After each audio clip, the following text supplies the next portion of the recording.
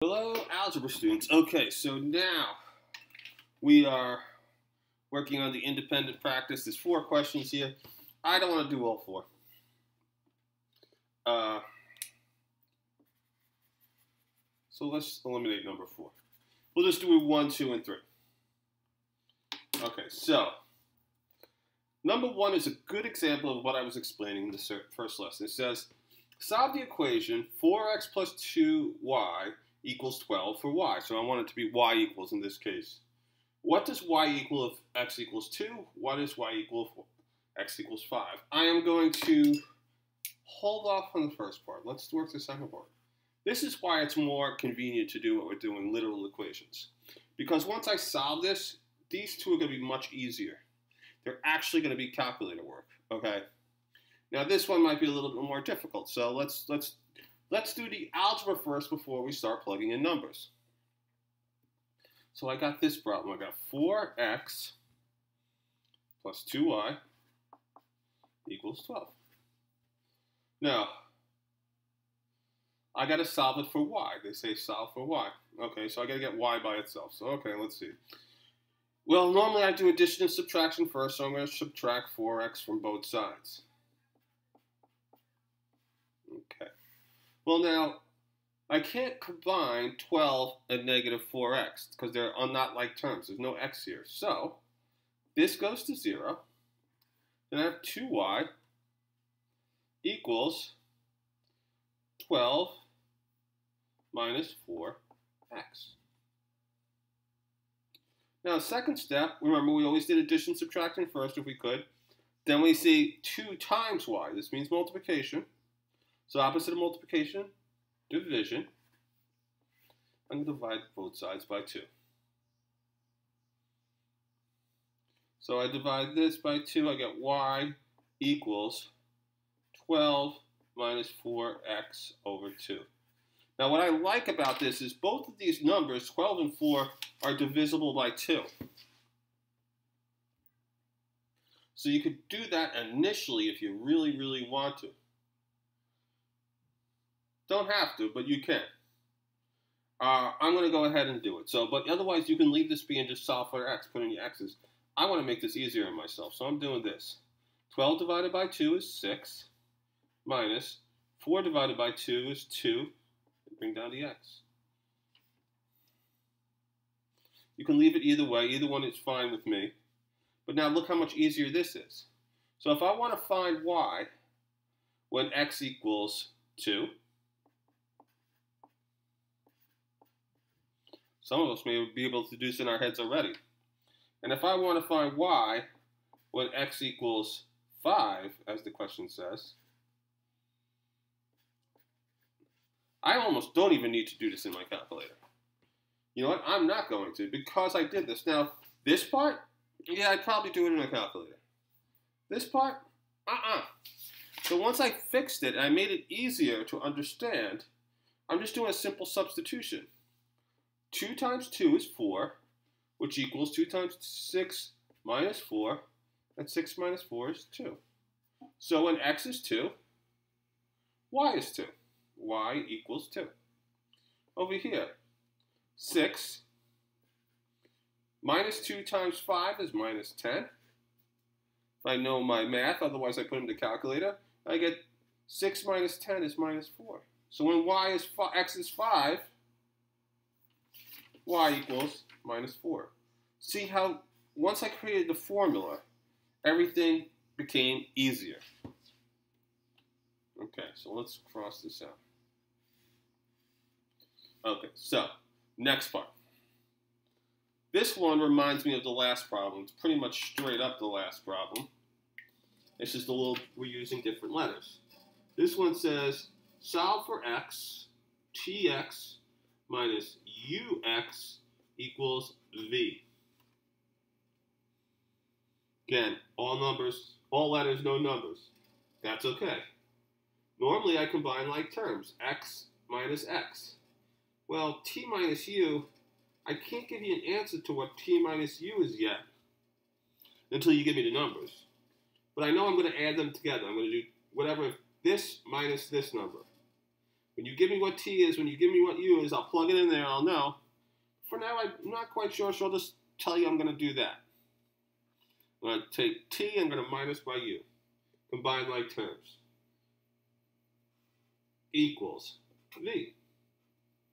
So first step is we combine like terms. Next step. Well, t minus u, let's say it was 3 minus 2. Eventually it's going to be a number, like 1, right? So I divide it by 1. But since t minus u, at this point I'm going to rewrite it because I think I made a mistake here. t minus u x equals v. I'm just going to divide both sides by whatever this number is going to become. It's going to become something in the future, but it's not really my problem. I'm setting it up for someone else to plug in the numbers. Get rid of those. x equals v over t minus u. So now you made a formula for someone, and you said, well, if you know v, t, and u, I'll tell you what x is. All you have to do is plug in the numbers. Now, I'm going to go to the third question here. The third question here is going to deal with our exit ticket. So pay attention to this one. Got a new piece of paper for this. Okay.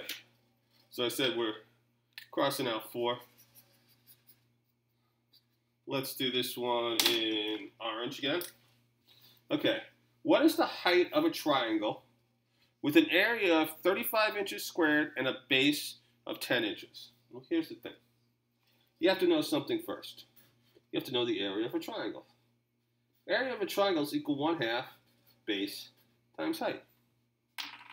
Now, I'm going to do it this way. Other people might want to put the numbers in first, and I said I want to make this easy as possible. They want me to find the height, okay? So that's my height at the end is going to be h equals. Okay, we can do this. All right, so I want to get h by itself. All right, so first thing I do, I want to get rid of this 1 half. And to get rid of a half, I can also look at this as b h over 2. So what I'm going to do is going to multiply both sides by the number 2. Because I'm saying I'm going to get rid of this 2 first. I'm going to multiply by 2. Well, this will take care of this. So now I have 2 area equals base times height. Now remember, I got to get h by itself. Next step. Well, this is really base times height. Times. Opposite of multiplication, division. So I'm going to divide both sides by b. And after I do that, you'll cross this out. And you'll see h equals 2a over b. Now, that's halfway done, but that's the hardest part. Now I'm going to make it easier on myself. Since I have this formula finding the height using area and base, I got to plug in the numbers. 2, my area is 35. Over b, and b is 10. 2 times 35 equals 70. 70 divided by 10.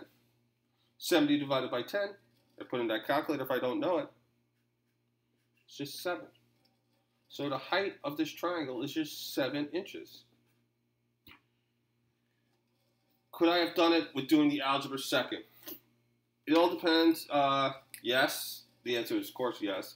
But this is what I would have had to do. I would have had to say A equals 1 half base times height. I'll put in the numbers I know. Area equals 35 equals 1 half of 10 times h.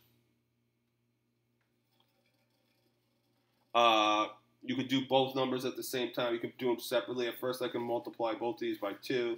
I get 70 equals 10h. Then I can divide both sides by 10. And you'll see we get h equals 7 again. The idea here is that you're creating a formula. If you're not working, if you don't have these numbers, in this case we had the numbers. In the first case we also had one of the numbers too. If you don't have the numbers, you create the formula. Think of it as like you're working with a team and you have people working under you. And they have to do this certain calculation every day. They have to do, find the uh, height of a triangle based on base and area for whatever occasion. Maybe they work in some sort of a carpeting firm or something like that. So you create this formula. Your formula, h equals 2a over b, eliminates the need from them to do algebra. And they just need a calculator and can quickly run through it like this. That's what you're doing for them. Okay? You can think of it that way. A lot of formulas are like this. Okay? When you're working in certain areas, if you work in like as, as, a mechanic, you know, to understand certain pressures and, and uh, displacement of engines and horsepower and gear ratios. You know, to have to just have one formula and constantly do algebra sometimes can be very difficult. But if you take a formula and you change it, let's say there's a common thing you're looking for, you can always have it. Okay? So it's making things simpler for someone else. Think of it that way, that way you're trying to do. Okay. So I will talk to you later. Good job, guys. Have a great day.